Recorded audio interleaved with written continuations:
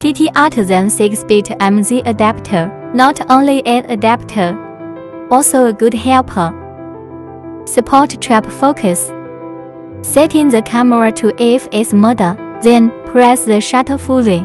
Turn the focus ring.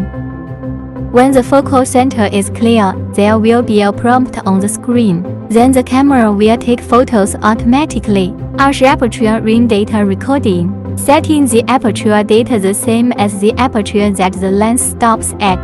The EXIF will include aperture data. Focal length recording. Lens with 6-bit contact. Press the reset button.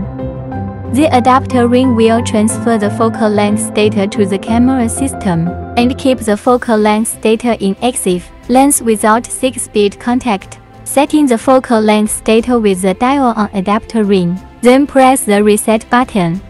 The focal length data can be put in EXIF